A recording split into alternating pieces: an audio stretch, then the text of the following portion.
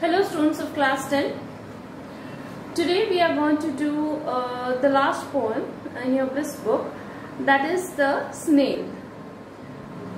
Now uh, the snail is by the poet, written by the poet William Cowper. Now before going on to the poem about uh, uh the poet William Cowper, uh, he was a very popular and notable poet of his times. He gave a new direction to uh, poetry writing of the 18th century. Not only that, uh, he wrote about um, everyday uh, life and about English countryside. Countryside, as you know, the village area. Uh, now, uh, some of his notable works uh, are uh, Olney Hymns, The Task, and another uh, work um, is another poetry, a very famous poetry of his, The uh, Diverting History of John Gilpin. Uh, so this was about the poet. Now about the um, poem The Snail. Now uh, the snail, when uh, we hear the name, the first thing that appears uh, in our mind is you know the coiled shape uh, of the snail and you know the very slow pace of it.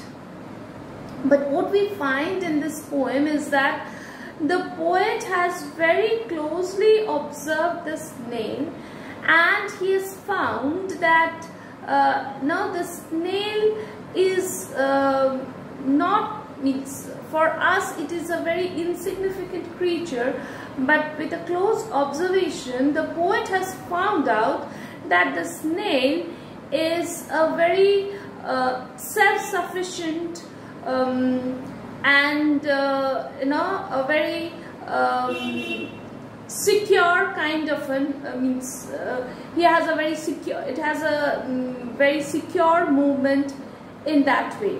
Okay now uh, I have written it in short uh, that what is all about the poem. The snail leads a very self-sufficient life. His movement is secure.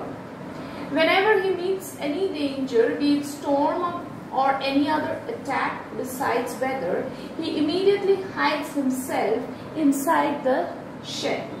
A snail is too sensitive and the slightest touch in its horns make it, uh, makes it curl inside, it, inside its house. The snail is annoyed at being disturbed. He lives all alone like a hermit with no belongings or chattels and is satisfied to be his own home now, let us go on to the poem. Now, uh, before that, it is uh, given that he give, gives us a picture of the private world of the snail. Now, let us go through the poem and see what uh, is a private world of the snail. To grass or leaf or fruit or wall, the snail sticks close, nor fears to fall, as if he grew there, house and all together.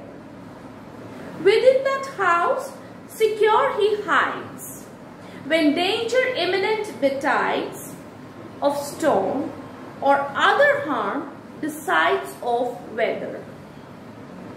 Give his horns the slightest touch, his self-collecting power is such, he shrinks into his house with much displeasure.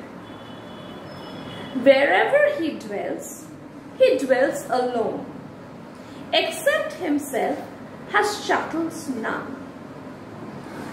Well satisfied to be his own whole treasure. Now let us go uh, one stanza at a time what does he say? To grass or leaf or fruit or wool.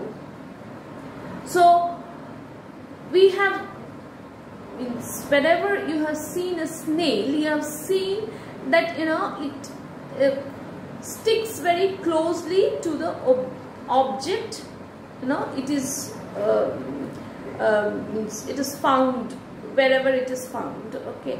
So uh, what are the objects where it is found? In a grass or leaf or fruit or bone the snail sticks close sticks close means it is you know mm, it is you know it gets attached in such a way as though you know it can't be separated. When we see a snail uh, when we observe a snail we feel that it can't be separated. So and that is why it is so securely attached. That is the reason the, the poet says nor fears to fall. So it has no fear of falling off grew there.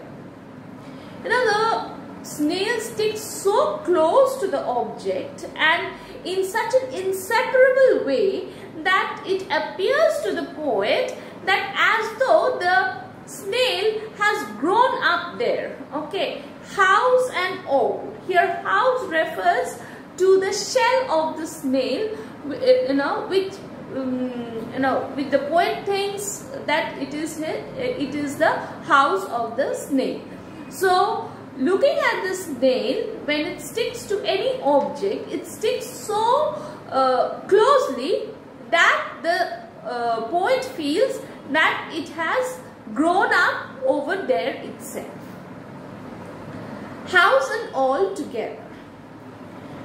Within that house, again, that shell is being referred to as the house of the snake. Within that house, secure he hides. When, when danger imminent betides, secure he hides. That is, just as we uh, you know uh, live in a house for shelter for our safety and security. In the same way the snail also carries its house along with it. And whenever he uh, you know feels that there is some kind of a danger it hides inside the shell.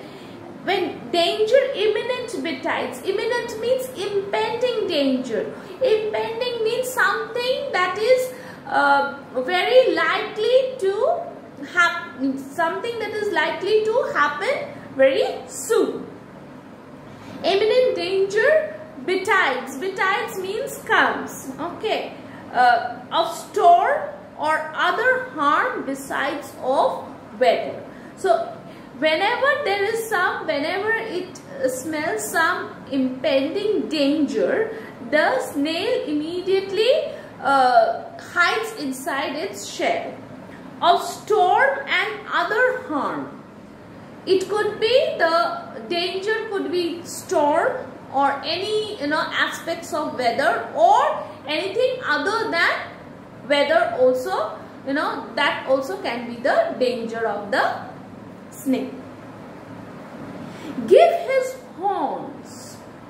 Now if you've seen a snail, you've seen the, you know, the, both the antennae of the snail.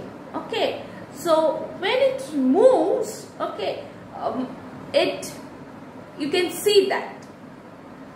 But if you, now we think that the snail is uh, kind of insensible.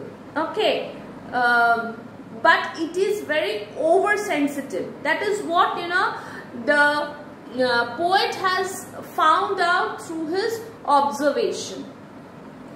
Give his horns, that is he's talking of those antennae, the slightest touch, even if it is, you know, if it is given the slightest touch, his self-collecting power is such self-collecting power means the that is you know the sensitivity okay of the snail is such that it immediately shrinks inside. That is it goes inside into his house with much displeasure.